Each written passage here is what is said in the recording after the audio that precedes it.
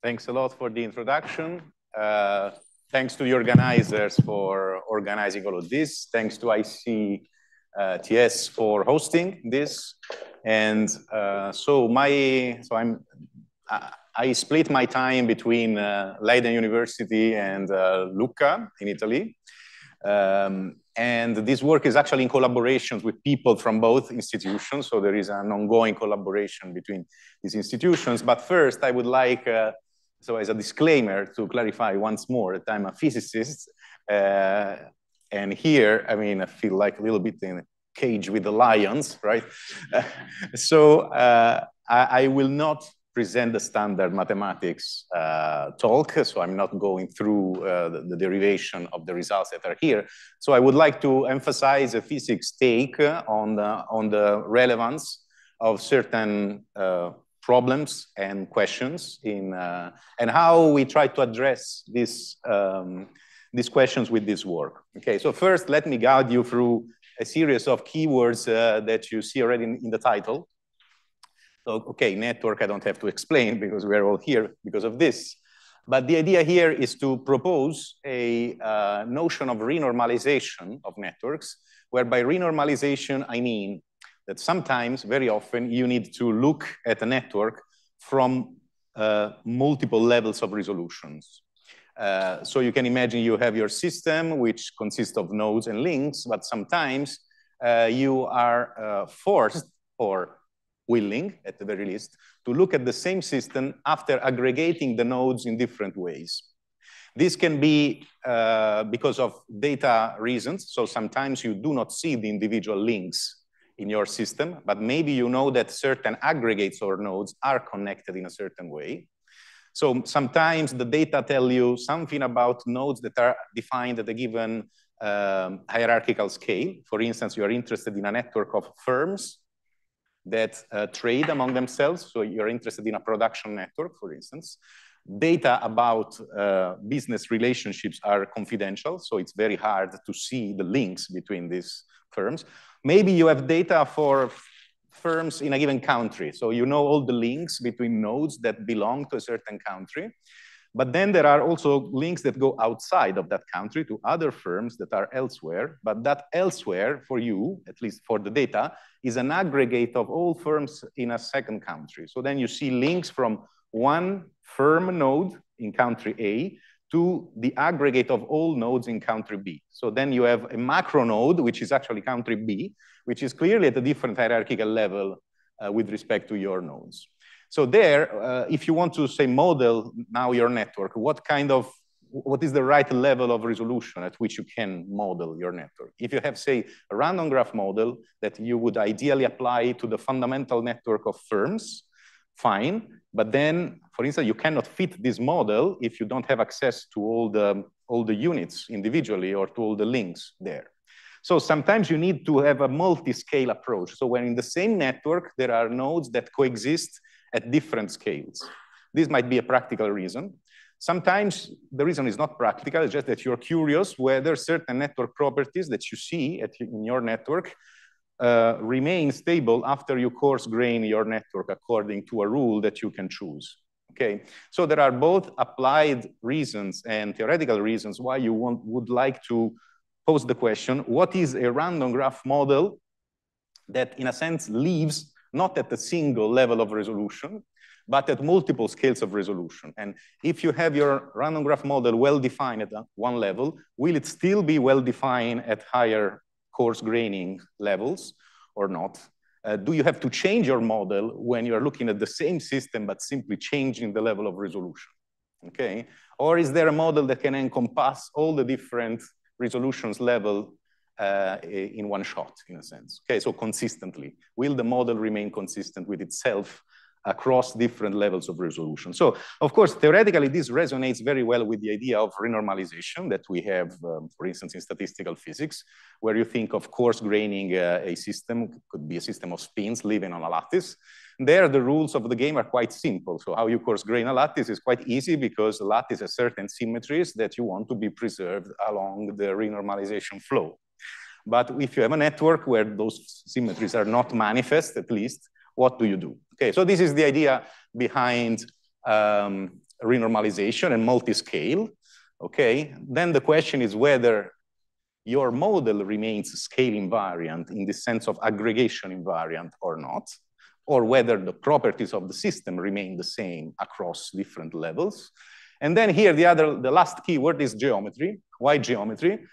Because from the physical point of view, it's very important to, uh, I mean, understand whether geometry plays a role in uh, the structure of real networks. So Pim started this workshop with a very beautiful presentation where he clarified that there are, let's say, classes of models where you can explain certain recurrent network properties uh, without geometry. So in particular, you can have models that replicate uh, broad degree distributions quite easily, uh, assortativity profiles maybe quite easily, but sparse networks quite easily. The small property is easiest because already the Erdős-Rényi has it.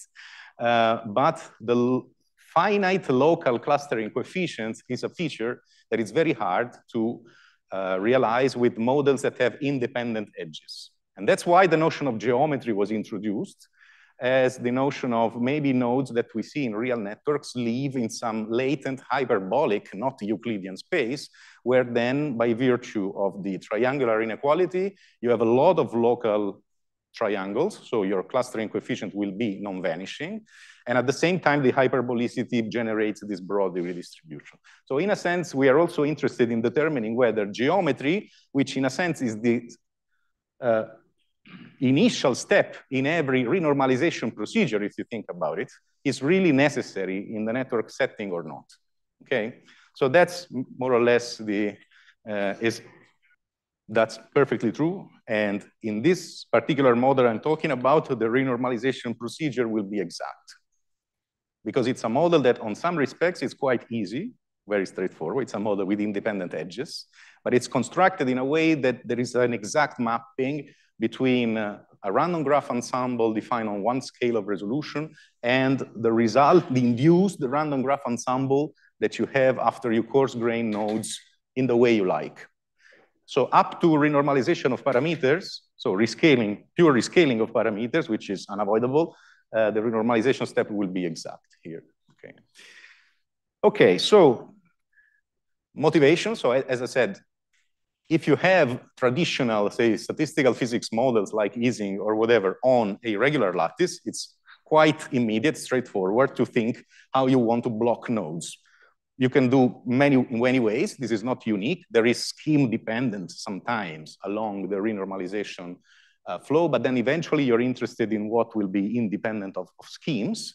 But the idea is simple. So you have a lattice with a certain symmetry, you want to keep that symmetry. So you, you have a grid, you want to make a, a grid, an effective lattice with exactly the same symmetry. And then if on top of that you have a, a, a, model for with spins or other degrees of freedom, clearly you also have to define the rules for, okay, uh, what, what is a block spin? Okay, is it a majority rule uh, chosen or is it the average? So that, that is also something which is up to you. But my focus here is on the structure of the graph, which underlines the, the, the problem, right?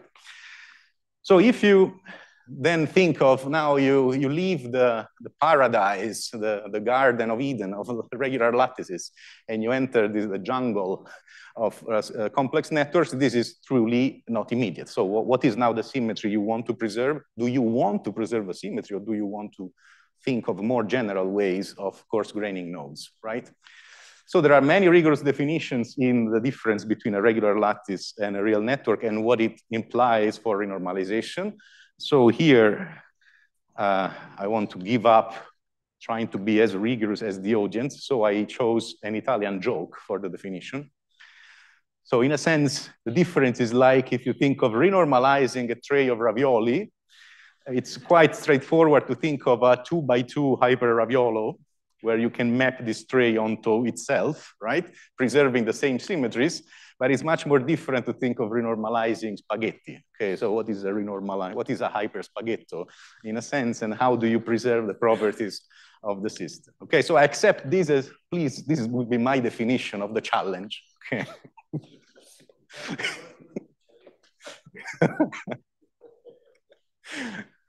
With rice, it's still uh, easier. Uh, okay, so uh, now what are the explicit problems in networks when you try to renormalize? Well, first of all, there is no obvious metric structure when if you only look at graph properties. So if you're given an adjacency matrix, you may suspect that there is some geometry underlying. Tim also was mentioning the question, okay, how do we know whether the graph that we see comes from some geometrically embedded set of points, okay, that have been connected according to nearest neighbor preferences? And then can we, can we invert the process and guess what the geometry underlying is? I think Nelly tomorrow is also going to think, uh, to talk about geometry in, in networks. And, uh, but the problem, the point is that there is no obvious, not, no explicit coordinates that we are given when we see the nodes, okay? So in a lattice, the high, the guiding principle behind the renormalization is that you have the coordinates of these nodes in a lattice. So this is what drives the definition of the block nodes. Who will belong to which block node is clear from the geometric coordinates. We don't have this for free, at least in, in networks. Then there is the scale-free property. So broad degree distributions imply that if you pick a naive rule for defining the block nodes, you are uh, very easily uh, Uh, in trouble. Because if you cannot say that my block node is a node plus its nearest neighbors, because the nearest neighbors will not agree. Because for a hub, the nearest neighbors are a huge fraction of all nodes in the network. He would like to take all those nodes into his own hyperblock. Whereas for the poor guys that are only connected to the to the hub, they will all compete for having the hub in their block nodes, right? So there is no consistency in a sense in neighborhoods uh, and this, you may think this is still a kind of scheme dependence, but it's more dramatic, I mean, than, than, than what you have in, in lattices.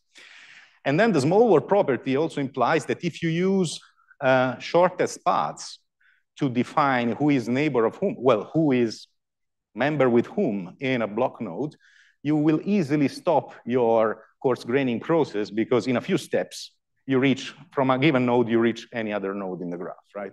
So the small, uh, the small world property implies that there is no, not enough separation along shortest paths, basically, between neighbors, in such, such that you can iterate your coarse graining scheme uh, indefinitely, okay?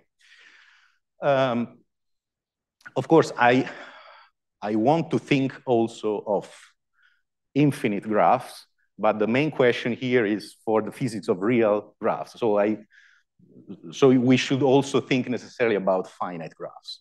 Okay, and then so let's think about finite graphs. Then if you want, you may want to take some asymptotic limit in, in this reasoning, but let's focus on, on finite graphs.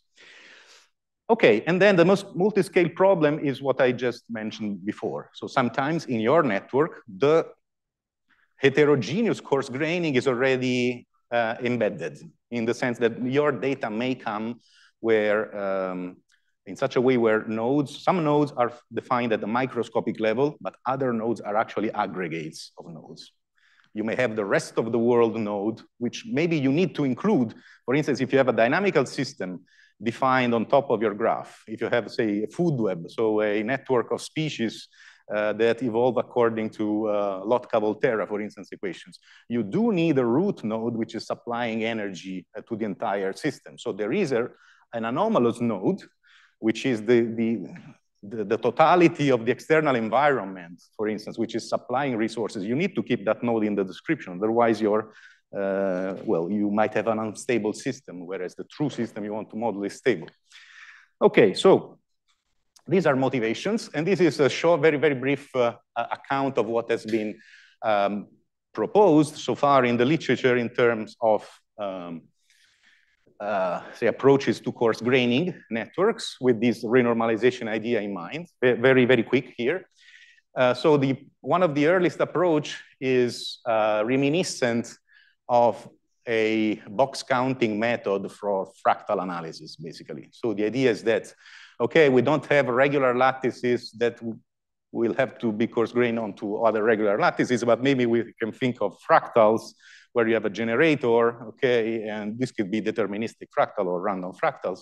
But I mean, you have a generator which you can then use to iterate the construction of your fractal. And, uh, and then, the, and, and, you know, when you want to compute things like the fractal dimension of a, an empirical object, you, there are constructions such as a correlation dimension or uh, box counting methods, where basically you get trends that relate how properties of the system change as you change the, the scale, the fundamental length scale in the system, right?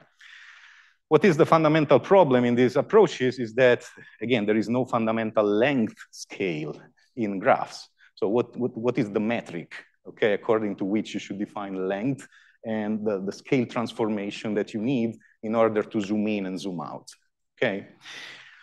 Uh, then one other, say, immediate suggestion would be, well, then look at communities. So if the network has communities, so if there are groups of nodes that are more tightly interconnected, more densely interconnected inside, then you would assume or expect, according to a certain null model, uh, then consider those as the block nodes, okay? The question is that you don't have control typically on how many communities are there. So different networks may have different numbers. Some networks do not have communities. If you pick a quite structured null model, um, and the question, and if even if they are, then maybe you find the coarse graining corresponding to communities, and then you stop because then by definition there will not be communities be, between these communities unless you really think of a nested community structures with sub-communities within sub-communities and so on. Okay. Okay.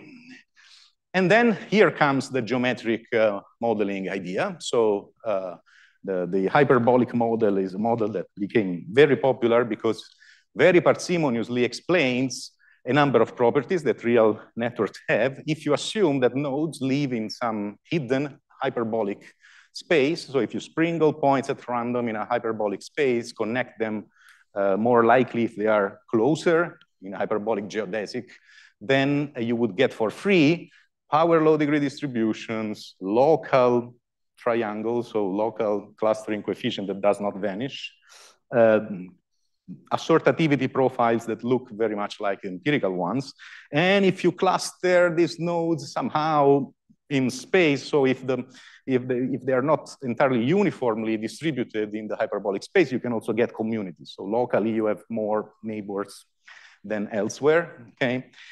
So here, the, uh, so here the type of questions are mainly related to, okay, how can we make sure that real networks really come from such a model? Can we retrieve these coordinates uh, somehow with statistical uh, methods? What is the parsimonious choice of the dimension of the embedding hyperbolic manifold? What is the genus maybe of, of the manifold? Of course, there are all sorts of questions. So this is in a sense the starting point because once, so yes, Rajat? Yes, there are several algorithms that have been proposed. One of the most used is called the Mercator, which basically uh, is based on uh, maximization of a likelihood where the parameters are uh, the two coordinates per node that in a two-dimensional hyperbolic manifold, you assume nodes are sprinkled there, or there is an equivalent projection onto the Poincaré disk, where basically you have a radial coordinate and an angular coordinate. So you fit these two parameters per node, basically, and this gives you the most likely coordinates. Of course, this is all up to some overall invariance, clearly, but, uh, but then this is providing you with the most likely embedding, uh, geometric embed. Okay. Um, okay. Then it's, it's a goodness of fit procedure, right? So even if you will find some best fit the question is, is that fit still good enough, okay, or, or not? Okay, so, but all these approaches do not, say, reduce to, to the ordinary scheme in which you have a simple lattice. So imagine you, you want to include in the class of networks to which you apply these models also the good old uh, um, lattices, and they, they break all these conditions. So these methods are based on assumptions. So the assumption of self-similarity in some sense up there, the assumption of the existence of communities, the assumptions of the properties that are compatible with hyperbolicity. So for instance, if your network is not scale-free, you cannot embed it reasonably in a hyperbolic space. So then the procedure breaks down, including for hyperbolic, uh, uh, sorry, for regular lattices. Okay, And the multi-scale notion, so the fact that certain nodes are aggregates of other nodes is not easily implemented here as well. Uh, finally, there is a class of approaches, here just pick one, which are based in, on, if you want, renormalization more a la, a la Wilson rather than Kadanoff. So not real space renormalization, but more in terms of the Laplacian, in terms of the spectrum.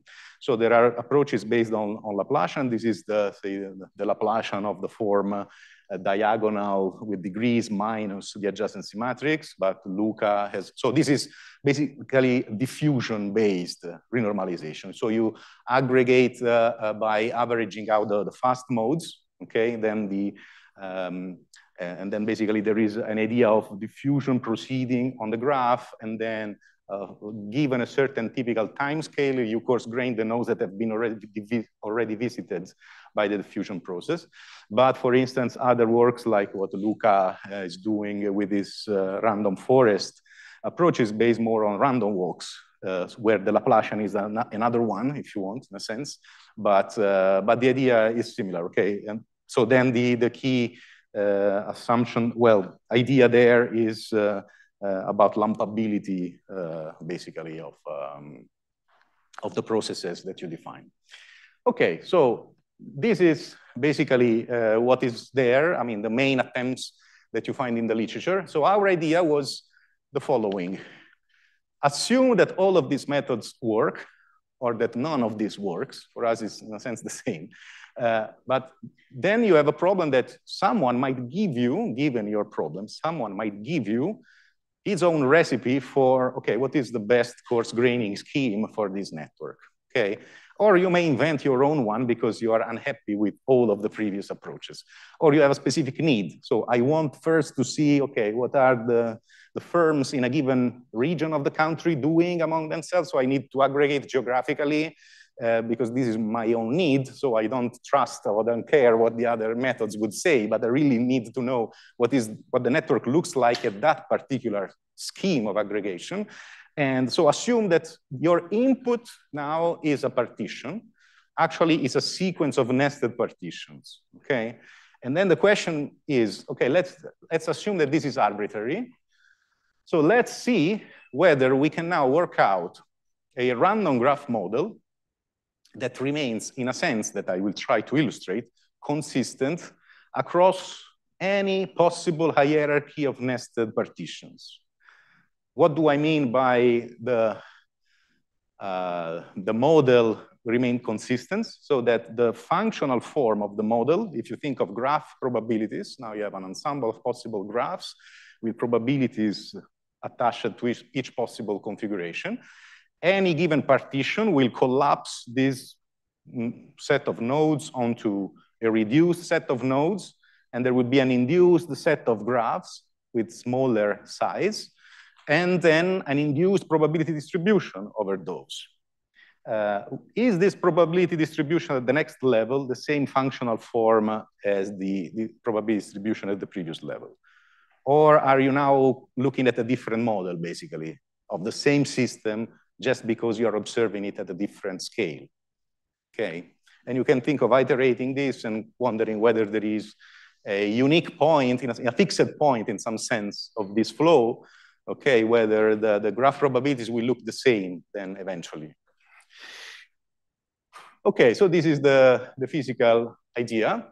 Uh, let me skip this because for mathematician is not needed. Um, okay, so then the rules of the game are, are the following. You start with a finite graph, then you uh, specify, and, and we call this the L graph, where L stands for a generic hierarchical level at which I'm looking at the system. So I'm looking at the system at level L.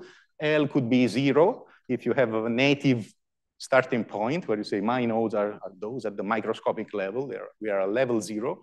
And then we identify, we specify a partition that will map and we call a partition omega, partition of the nodes that will map basically my graph onto a reduced graph where nodes that are in the same block of the partition, so omega decides who are the circles, the circles will become nodes here, and then the topology of the graph will decide whether the nodes are connected or not in the uh, coarse-grained network, okay?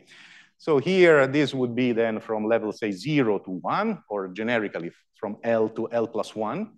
And then um, the, the rules is that I connect two nodes if there were at least one link, so at least one edge uh, between any pair of vertices in the two blocks, okay, corresponding to the new nodes.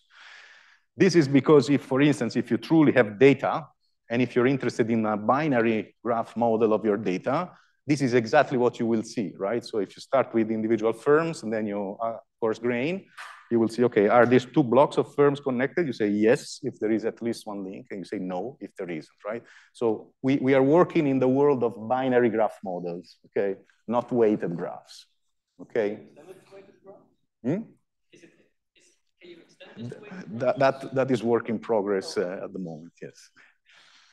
Um, the, the point is that the binary nature will have to be compatible, well, sorry, the weighted graph model will have to be compatible at the binary level with this one for the idea to work, right?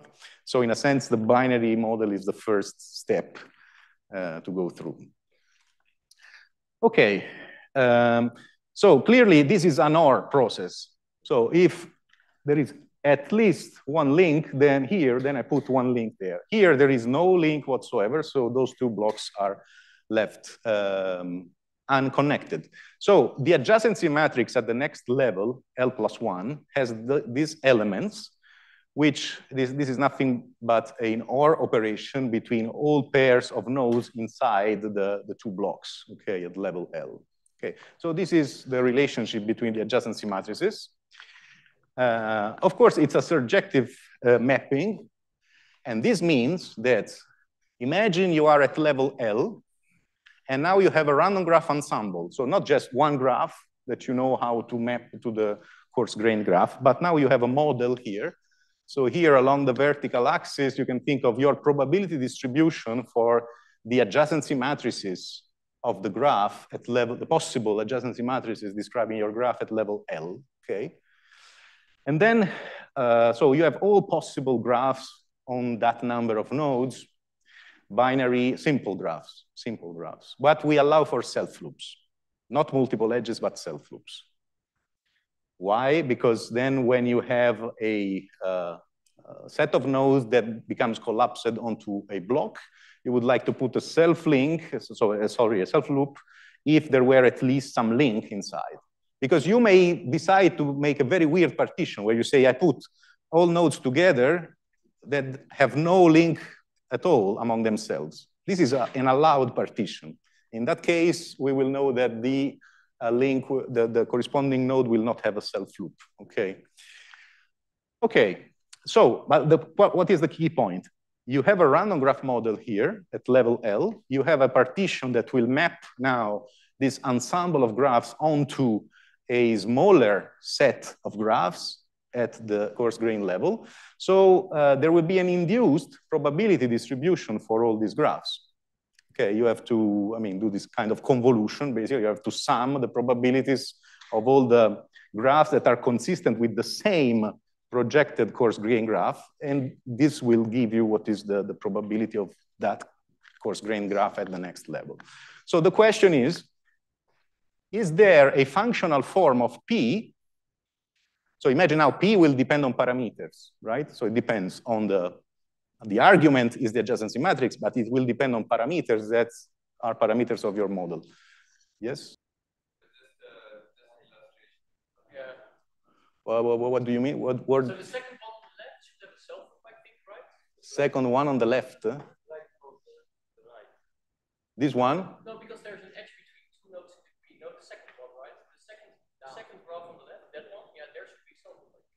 Uh, right, right. That's true. That's true. And then for the third, there should not be a self. Right. So this self loop should be moved here. Yeah. Right. Good. So now you know the rules very well. yes. that was the that was the trick. okay. So, but imagine now your probability has parameters. Okay. The question is, is there an invariant form for this probability? So such that you can get rid of this L here so that the functional form is the same. Uh, only the parameters of the, the, of the distribution of your graph will change in a way that it has still the same uh, structure, okay? Okay, so this is uh, basically how formally you can write uh, the probability of a given uh, graph at level L, given the set of parameters defining your models. And this has to be a sum over all compatible graphs at the previous level M, okay? And you can go also many levels below, of course, clearly. So you can think of, in the end, a partition of a partition is ultimately a partition itself, right? So you can think of having several layers in this uh, process. So you may start even very far from level M up to level L. Uh, you have to count uh, the probability, sum the probabilities of all the compatible small, fundamental graphs given a coarse grain graph.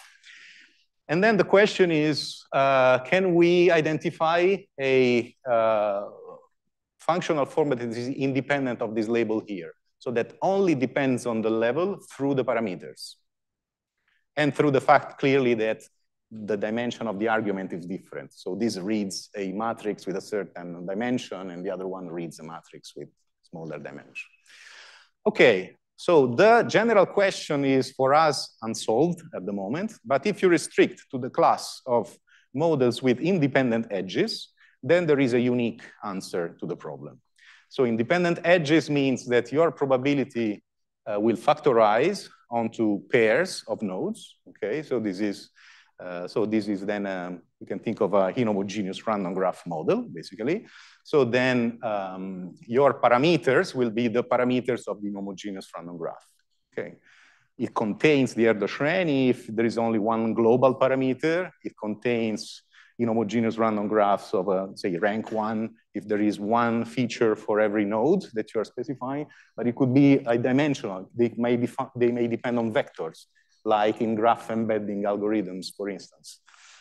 Okay, so if so in general, we think of now probability uh, in this form, where now the set of parameters will contain at least a global parameter, which you can think of as uh, tuning the overall density of links in your graph.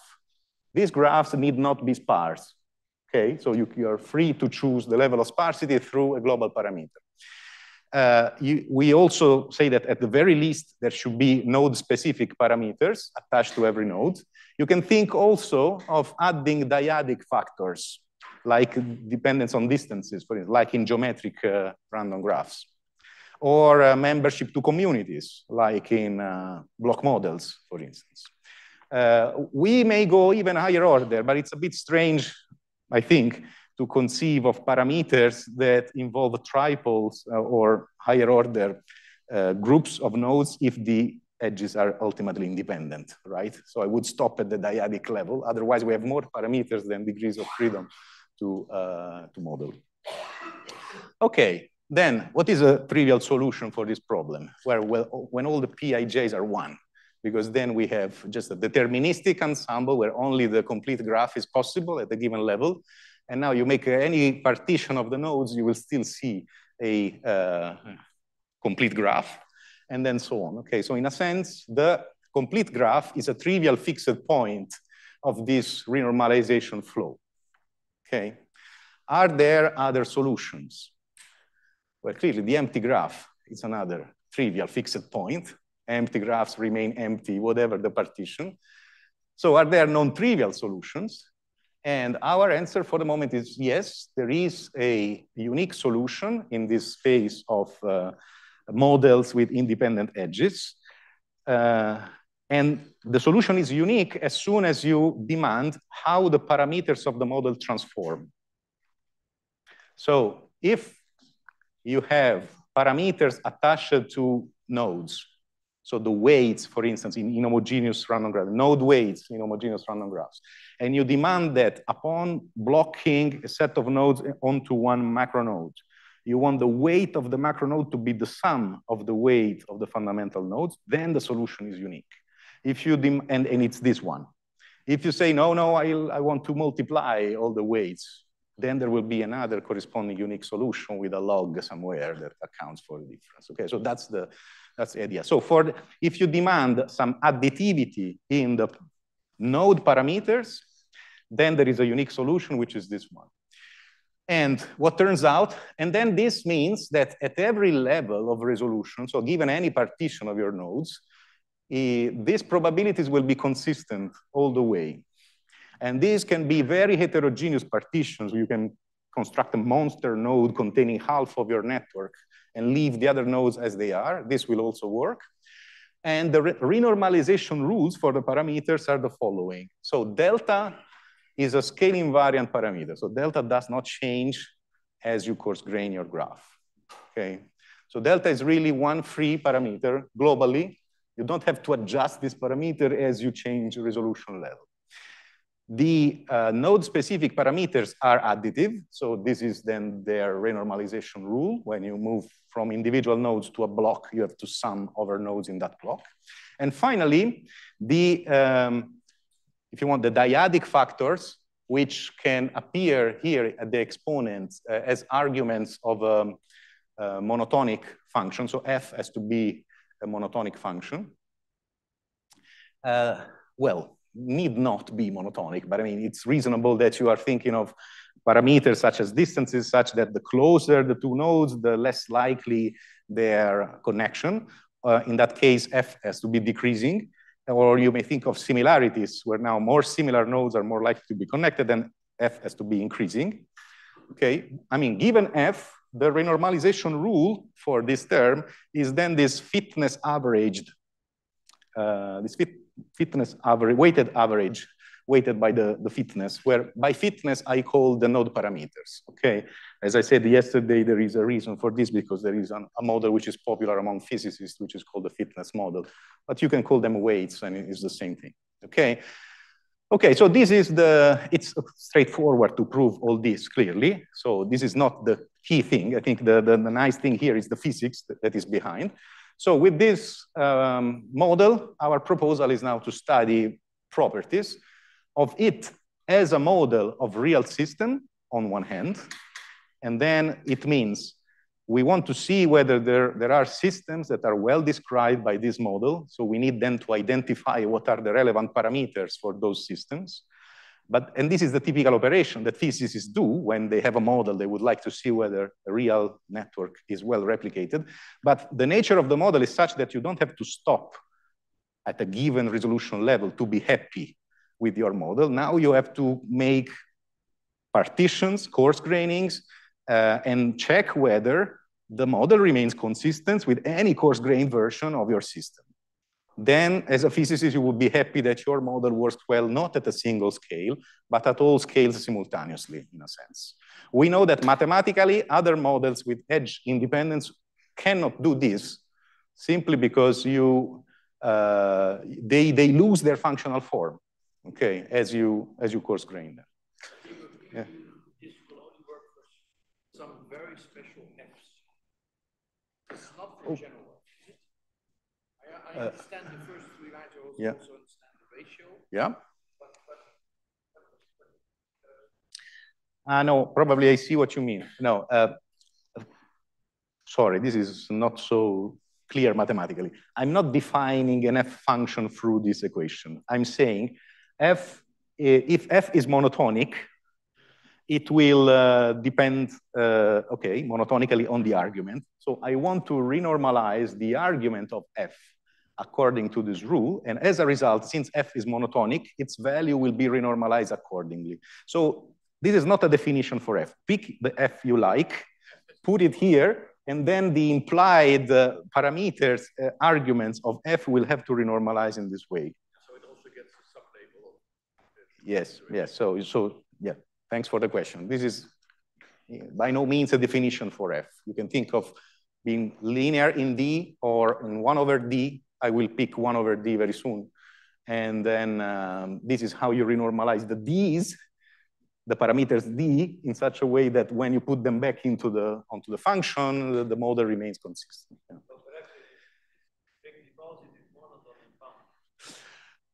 Right. Uh, so all the parameters have to be positive.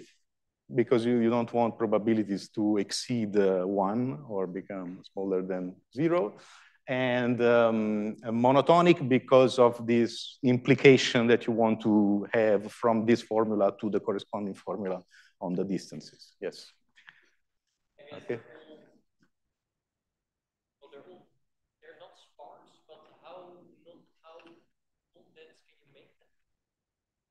Well, I mean, delta. Yeah. yeah, yeah, we, we will see this. Uh, so now there are two scenarios that will open now very soon. One is when you have a real system. So you have no freedom choosing what X and D are, for instance, because you measure them. So maybe, well, I already say it, so I save time for later. If you now, your nodes are countries in the world and you're interested in international trade between countries, there are lots of data that document this. This is called the International Trade Network. And then our uh, natural candidate for X is the GDP of every country. So you don't have to invent your X, it's coming from the data. Same thing for the distances. Geographic distances plays a role in international trade, so it's a natural candidate for this. So your only free parameter will be delta. Now, if you have a real network, then you want to match the uh, empirical density of, the, of your graph, for instance. That is a kind of method of moments for uh, setting delta. Then, then it depends on your real network, whether if it's sparse or not, then delta will be either small or large. The other scenario will be, but also consider that if you start with a sparse graph and you start coarse graining, very naturally your partitions will increase the density of your graph. So then sparse or dense are a property of a single level in the description, not of the overall story. Okay. So given the values of x, there is a, a corresponding value of delta that realizes the density. Then these numbers will increase when you do renormalization. So delta will then not change. So the density will increase, not because of delta, but because of the, of the nodes becoming more and more important. Uh, the other scenario is what we call the annealed scenario, where now this is more like in homogeneous random graphs. Now you decide what is the PDF from which you sample xi, and given your choice of PDF, there will be a certain scaling of delta that can make your graphs dense or not. We will, in the end, pick a marginally sparse or dense case, so where the density is log n over n in the end. Okay, so now I go faster because I already explained this slide. So the quenched case this is what we call quench. I know physicists and mathematicians would need uh, three hours to agree what quenched and annealed is. For us, quenched means simply these parameters x are numbers given. I measure them. I cannot change them anymore. And I want to describe the properties of a model as a function of this vector of values, period. This is quenched because someone quenched these numbers for me. Poor me. Okay. And uh, annealed instead is the scenario where I now think of these numbers being picked from a certain PDF. This, for me, will add a layer of complication because if I want to enforce additivity, sorry, consistency of the model, again, across multiple levels, I also want consistency of the PDF from which I'm sampling the weights, which leads me directly to alpha stable distributions for the x values because the, the renormalization rule is additive, so they have to be stable upon addition. They cannot be negative, so I discard alpha equal to two. I don't like Gaussians here. I have to go to one-sided alpha stable distributions with purely positive support, which leaves me with alpha between zero and one, so they are infinite mean hidden variables, okay? And the uh, Levy distribution, alpha equals to one half, is the only one known in closed form in that range, but we will give results for, for any alpha in the range, basically through the characteristic functions of these processes. Okay, so this is done. Application. So now relax, think of a very small network uh, less than 200 nodes because countries in the world are around 200 depending on definitions and agreements. Um, but the data that we're using has uh, 180 something countries. This, this network is very dense already at the beginning. It's very dense, more than, density is more than one half. Okay, you would definitely call it a dense graph. This is only a filtered version of it, by the way. Otherwise, you couldn't see the graph because of so many links being there. As I said, yeah, sorry? Yeah, now this is just a, a caricature. This, this, is, um, this is the output of a paper where they propose a filtering procedure, which is very uh, complicated. It's based on a null model where every node has a controlled number of connections and total volume of exports and imports.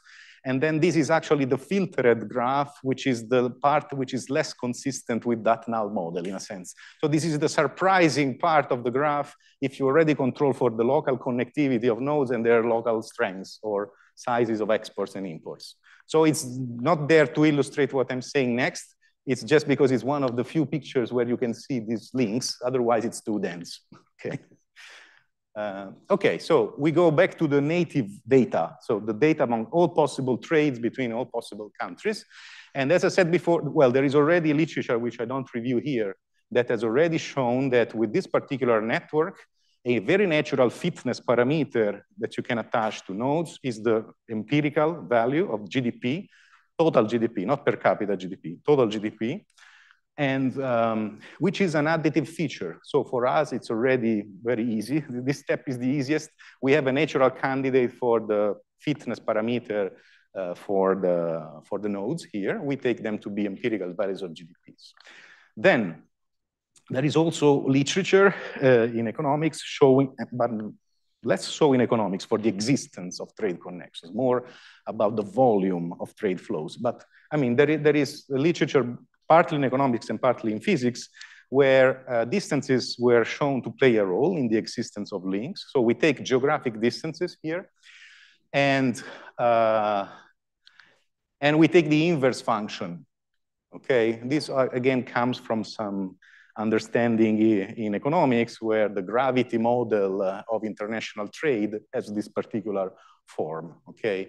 Well, it has fitting parameters, but once you fit the parameters, the values are very close to this form here. So the inverse of the density is uh, well accepted in, uh, in the literature there. Okay, so our renormalization rules for the distances, for the f, if you want now imply this relationship.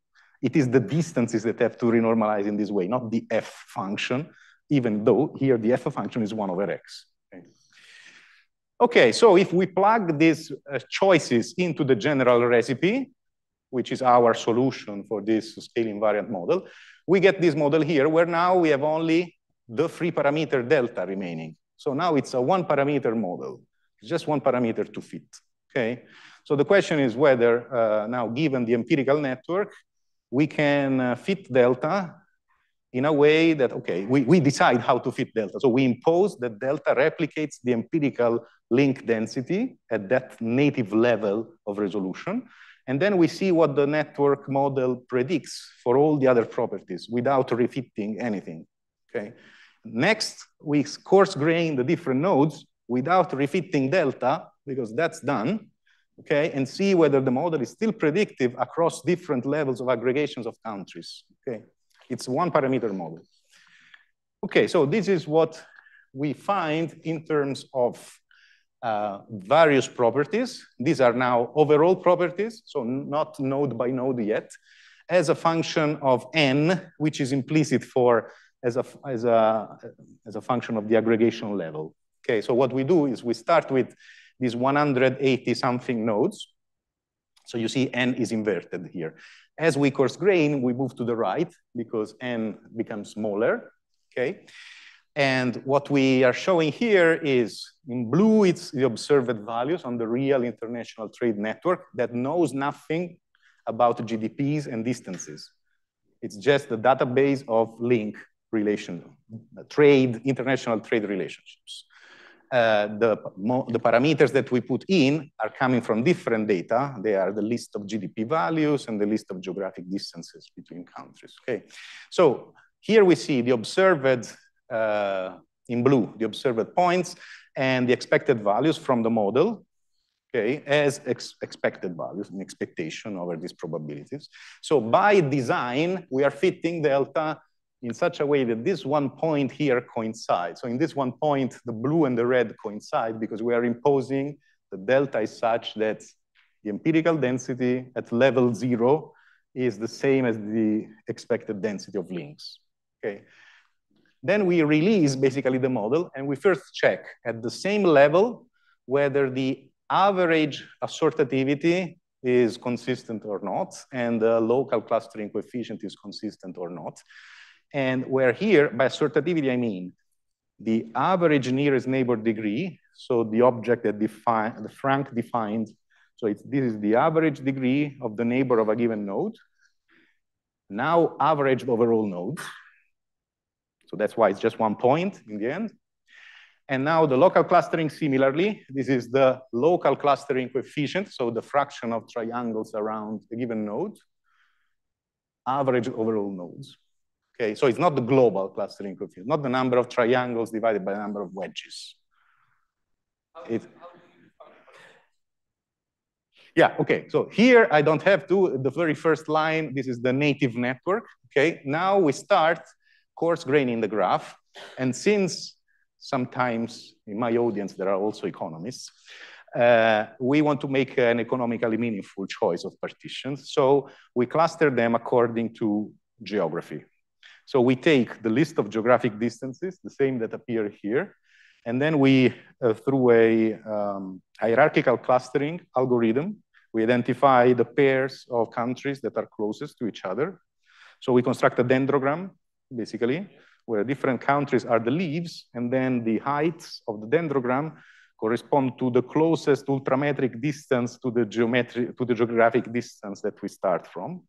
So this is basically single linkage clustering, where given any two blocks of nodes, we define the distance between the blocks as the uh, short, the minimum of all the pairwise distances, this single linkage. You may take uh, average linkage, taking the averages, or complete linkage, taking the maximum. But the single linkage one is the one that is guaranteed to provide you with a sub subdominant ultrametric, which means it is the closest ultrametric distance from below to the original distances. The original distances need not be ultrametric, but if they are ultrametric, this is beautiful because they come out of this summation. So if you have an ultrametric distance, you can always encode it in a dendrogram, right? If now you define blocks by cutting your dendrogram horizontally and collapsing nodes that are in the same branches, you will have that in, in this summation, all the distances from any node in one block to any node in the other block, they are the same because they have to arrive at the same branching point in the dendrogram. They have the same common ancestor. So this little number comes out of this and simplifies. Well, does not simplify, comes out, but the rest simplifies. So the GDPs simplify, and then you see that the next level distances are unchanged. So not only delta is scale invariant in that case, but the entire distances, the entire set of metrics are uh, uh, unchanged. So only the additive rule on the uh, GDP remains in that case.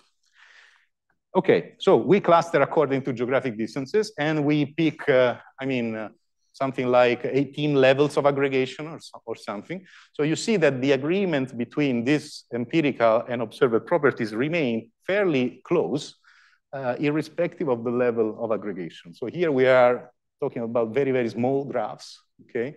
And this is very, uh, it's a quite remarkable agreement given that it's a one parameter uh, fit. But we also wanted to check things locally for every node. So here you see um, for a given, this is the native level, again, where nodes are countries. And here you have the log of the GDP on the x-axis. This is a scatter plot. And on the y-axis, you have here the degree of every node, the average nearest neighbor degree of every node, and the local clustering coefficient of every node. So you see the red is the model, and the blue are the data. So this is quite, I mean, even it's one parameter fit, I think is a quite remarkable agreement. And as you coarse grain, you see this agreement remaining uh, in place. Okay, you don't have to refit anything here. Okay, so this is the part we are happy with uh, in terms of, okay, there, there is one example where this model uh, is working uh, well. And then very quickly uh, on the what I mentioned, the annealed case, where now we get rid of the real world. So probably, uh, yes, yes, five minutes are enough. Uh, so here, uh, probably this comes closer to what uh, in the literature about uh, inhomogeneous random graphs has been studied or is typically of interest. So as I said, we want to now um, pick the, the, weights from certain PDFs, but we want to impose this consistency again. So now we are bound to choosing only um, fitness variables that are alpha stable distributed so that any at any level, we know that the fitness of a block it's still alpha stable distributed. Of course, up to rescaling of parameters. So the rules of the renormalization of the parameters are as in the previous slides. But additionally, since the fitness are picked from alpha stable distribution, there will be uh, the scale parameter of the alpha stable that will change accordingly. Uh, well, according to how many nodes I put together, okay? Uh, so if I do blocks of the same size, then they will still be all described by the same PDFs, okay? But the parameters will scale. But what is nice is that alpha doesn't scale. That's the property of stable distribution. So the alpha will remain what it is at all levels. So this implies, well, uh, that sometimes we can use the only known PDF uh, in this range, which is the Levy distribution, but sometimes we can work with the entire range of values and alpha has to be between zero and one. Okay, so one of the first results, so in this work is done, uh, started as uh, a project uh, uh with my PhD students uh, in physics, but then became a collaboration with Rajat and Luca. So here, uh, we found various results.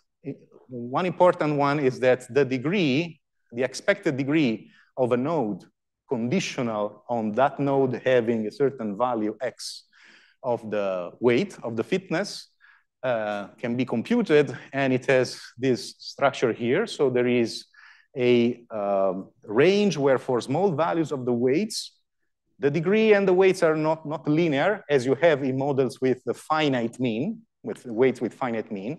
There is a nonlinear relationship, and this is proportional then to the weight raised to the exponent alpha. So here you see square root because it's alpha equal to one half, but you can prove this uh, for any alpha. And then there is clearly a saturation. So if you're considering especially denser and denser scenarios, now the degree will saturate, of course, to the maximum possible degree in that graph.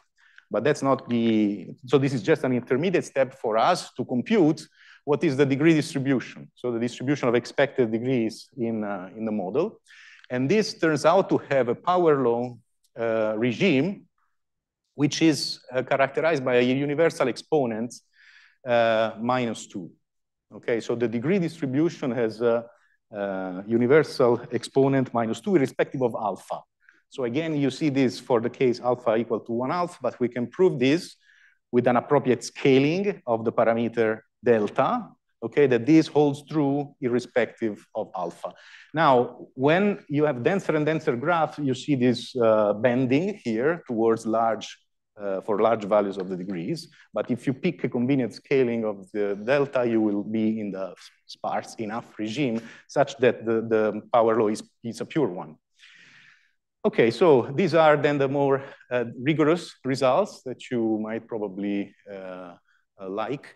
Uh, so we simplified, so in a paper with Luke and Rajat, we simplified the setting from an alpha stable to a pure Pareto, just because of ease of computations.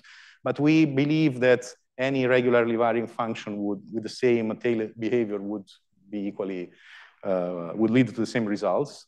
So here uh, we, we consider this scaling of the parameter delta that here becomes uh, epsilon. So one first result is that the expected, if we pick this specific scaling of this prefactor here, okay, then the expected degree of a typical vertex scales as this epsilon to the alpha log epsilon to the alpha. So with this scaling here, this becomes logarithmic. So on average, degrees increase logarithmically.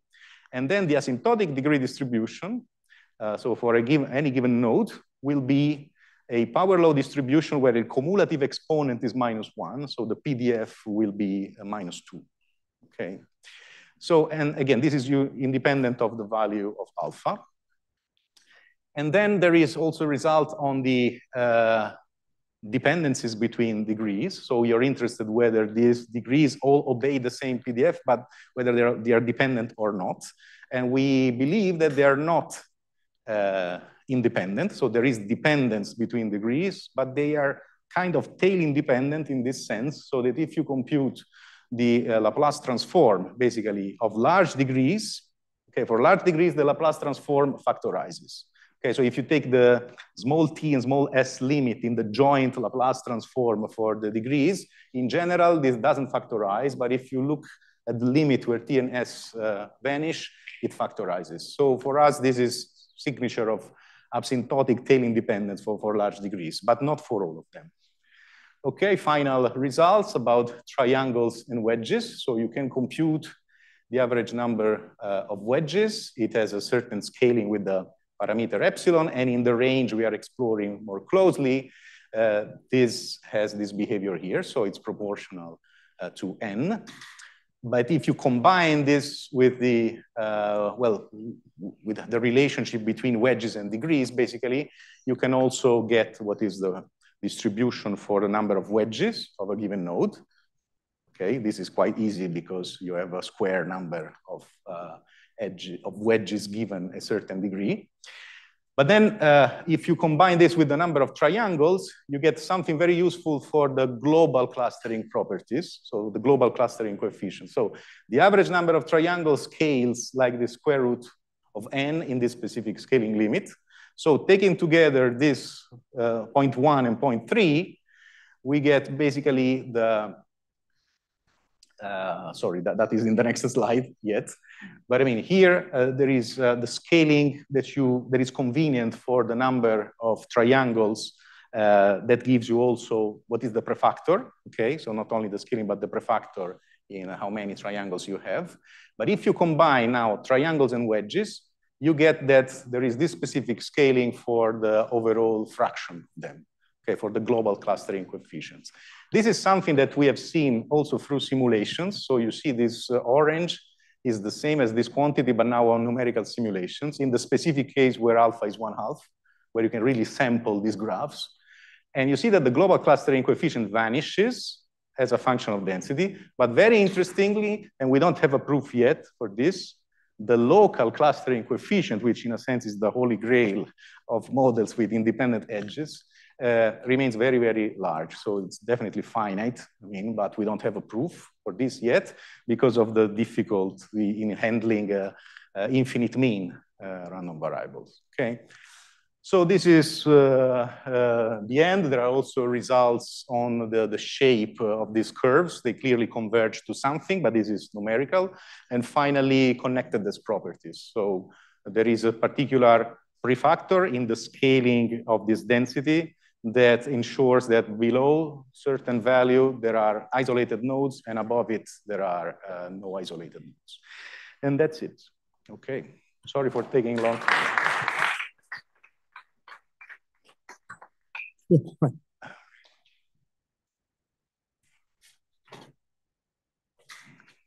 Diego, I lost you at the end because you're talking about renormalization. This means mm -hmm. you mm-hmm. go from one graph to the gra right. next graph. Now you have a result about a large graph and properties of the large graph. How does this come out of your renormalization? Because of course, with renormalization, you say you want to renormalize, you want to do this right, uh, possibly a number of times. Maybe there's there's some some some sort of attracting orbit, uh, and and I could imagine that you say uh, Lévy-like is nice or in the neighborhood of Lévy. But how do these results come out of your renormalization? Right. So renormalization here plays two roles. One is in defining, say, off the shelf, what are the shapes, what are the distributions that will remain invariant upon coarse graining. So alpha stable is the only one that works under additive choice. And uh, this particular form of the connection probability is the only one that remains itself, basically, upon rescaling. So the first role is that imposing the consistency of the model upon any possible sort of coarse graining, you get the same functional form. So in a sense, there you're already at the fixed point, because by design, you are using results that are already for, for fixed point, for, for stability, basically, of this uh, question.